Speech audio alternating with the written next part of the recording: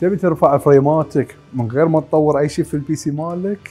اسمع معاي هاي النصيحتين أول نصيحة تقدر أنت تقلل الإعدادات في اللعبة أو بعد ممكن تبحث عن الإعدادات المناسبة حق هذه اللعبة بالذات على المواصفات اللي عندك.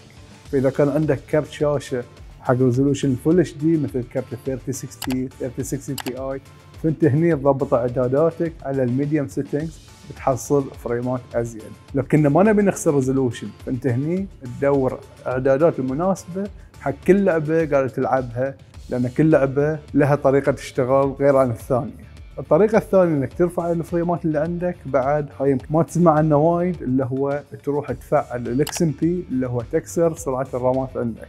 عشان تكسر سرعة الرامات لازم تكون ال motherboard مالتك من موديل B series ولا Z series هني أنت صدق قاعد تستفيد استفادة فعلية من سرعه الرامات اللي عندك. فيمكن الشيء اللي ما يخليك توصل عدد فريماتك هو الهاردوير مالك. فدائما بعد انتبه حق المواصفات هذه.